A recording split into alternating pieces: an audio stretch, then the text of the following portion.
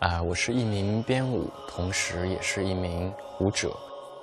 从三岁开始接触体操，到七岁开始学习舞蹈，十二岁正式进入专业舞蹈学习这样一个阶段，到演员。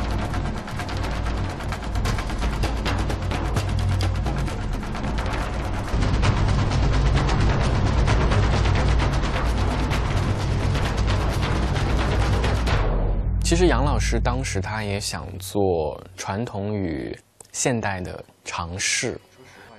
当我在去试演的时候，其实我并没有顺着传统的这条路子走下去啊。那在现代舞的领域里面，我们讲究的革新、叛逆和自我的想法是很重要的。所以我在这里面其实是有很多自己的揣摩，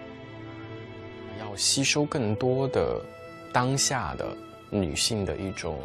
呃，审美也好，她们的思想也好，然后我也会去想象一些在那样一个年代，作为一个啊女性，她一直要在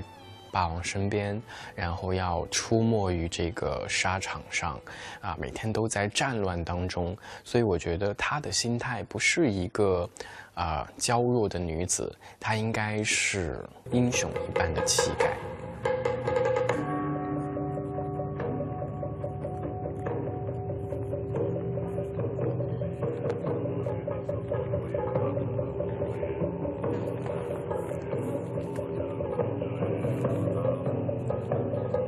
其实从流浪一直到后来的暗夜，包括从这些作品当中，其实我都有用啊我曾经学过的那些传统舞蹈里面的元素去做创新。嗯，我认为融合其实是在你完全知晓了那个领域之后，你又跨入另一个圈子。啊，我更习惯让这更多的东西，它像是在我的身体里面慢慢的渗透。他们自己去融合，然后我身体里面迸发出来的，我觉得那是身体自己成长出来的。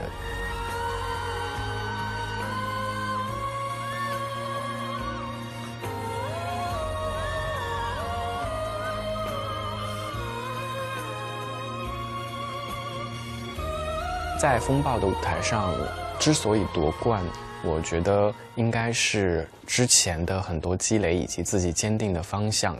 啊，就是想要纯粹的去做剧场、做舞蹈，把好的作品带给观众呈现。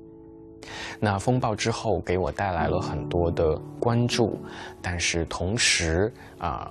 我也是在时刻的提醒自己，呃，依然要像曾经的那一个护士员一样，做一个啊。扎守在排练厅里的舞者，做那个最单纯的喜欢舞蹈的一个人。二一，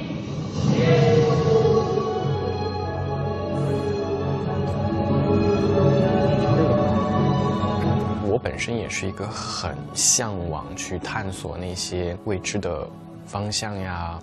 啊，不同的逻辑啊，身体的方式等等。嗯，所以我也是期待自己在不停的成长和变化。我觉得玩的心态会更重一些，对于国外的变。那比如之前的呃 Samsara 和 Akash 的这一台作品，当时的排练的感觉就是，啊，今天就这么过去了吗？好像今天什么都没有做，但是在国内的排练就是我们今天一定要积累多少，今天要完成多少，今天要出现多少，呃，所以他的思考方式是不一样的，制作的流程、时间也是会导致你，你的工作模式是不一样的。呃，舞者和编舞其实是两个不同的视角，从原来。只关注自己身体本身，慢慢的扩大到了身体之外，扩大到了关于整个舞台，啊，包括剧场的氛围、灯光的明暗，呃，画面的调度、构图，这些都是作为编导在演员的部分里面不曾去考虑的，所以我很喜欢现在编导的这个更宽阔的视角。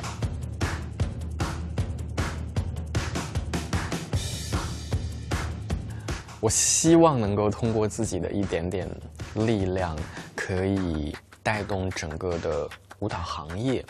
啊，让大家曾经对啊现代舞这种小众艺术有更多的了解，也希望更多的人去了解到的舞蹈啊，不仅仅只是晚会的一些伴舞，希望大家也能够看到舞蹈有它自己的思考。和自己呈现在舞台上的一种语言。